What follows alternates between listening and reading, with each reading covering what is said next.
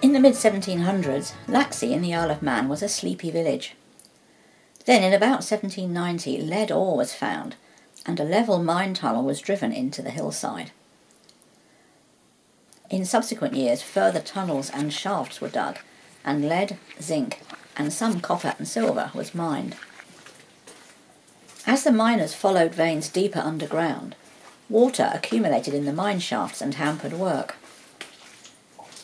Coal-driven steam pumps, as used elsewhere, would be an expensive option, as the Isle of Man had no coal. What it did have was a lot of water. In 1850, self-taught engineer Robert Casement was commissioned to design and build what became known as the Laxey wheel, which utilises surface water power to pump out the water from the mine. The wheel was opened in September 1854 and christened Lady Isabella after the wife of the then governor. Surface water is diverted from hillside streams to a cistern above the level of the top of the wheel, from which a pipe carries the water down to the giant wheel. As water always finds its own level, the water rises up the tower next to the wheel and spills out into the buckets set into the rim of the wheel. Their weight pulls the wheel down and around, turning it at three revolutions a minute. The wheel transfers its power via a rocker arm at its centre to a crankshaft which drives a governor on one side and a horizontal power rod on the other.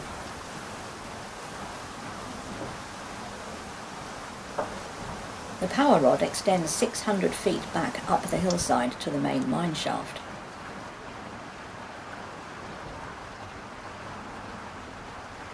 It is then attached to a large T-rocker, which creates a vertical motion.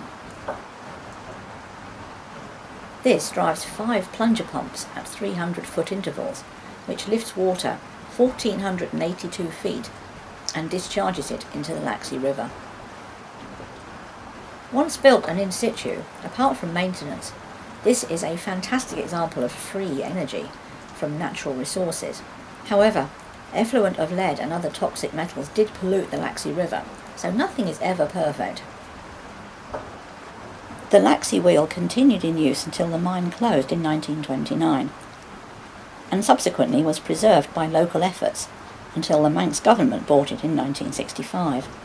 It is now maintained by Manx Heritage.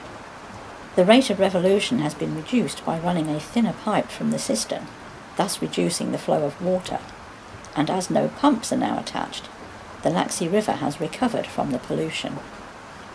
At 72.5 feet in diameter and 6 feet wide, the Lady Isabella is the largest still functioning water wheel in the world, and it is understandably now one of the Isle of Man's premier tourist attractions.